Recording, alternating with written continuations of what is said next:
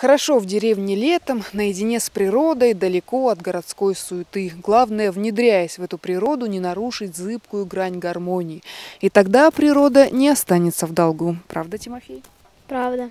Тимофей все лето проводит на даче. Скучать ему за городом не приходится. В свободное от игры время он помогает родителям по хозяйству. В один из таких обычных дачных дней была обнаружена весьма необычная находка. Когда мой папа и дядя Артем разбирали веранду, мы нашли гнездо с птичками. Тимофей показывает нам ту самую веранду, которую этим летом решили перестроить. Под старыми досками обнаружилось гнездо с едва проклюнувшимися птенцами малиновки.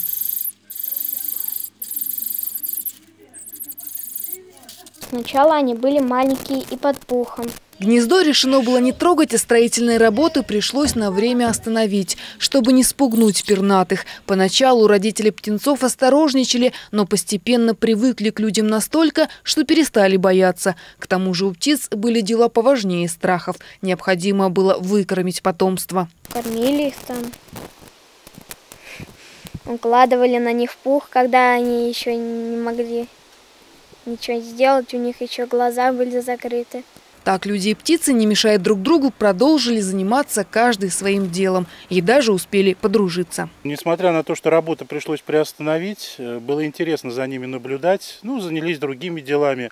Э, порядка восьми дней они выкармливали этих птенчиков. И я понял выражение покинуть гнездо, потому что птенчики, когда покидают гнездо, они туда уже не возвращаются. Родители для них находят укромное местечко под кустиком, и там они уже чувствуют себя совершенно спокойно, свободно, родители их там докармливают.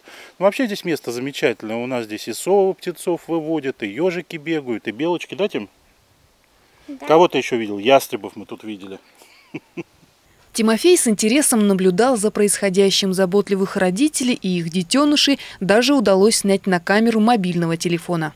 Он сидел прямо в середине этого куста, там, где очень много веток, чтобы его никто не достал. Ну, тебе там доверял? Да. Мы его просто искали и снимали.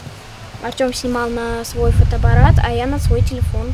Получился небольшой фильм о том, как Малиновка выхаживает своих птенцов. Птенцы подросли, научились летать и покинули свою малую родину. Они э, редко к нам прилетают. Я их кое-где вижу. Лето подходит к концу, но Тимофею ни капельки не грустно. Впечатлений хватит на весь новый учебный год. Да и с одноклассниками теперь есть чем поделиться. Рассказ о том, как я провел лето, у Тимофея получится интересным. Татьяна Сташенко, Евгений Половинкин. День города.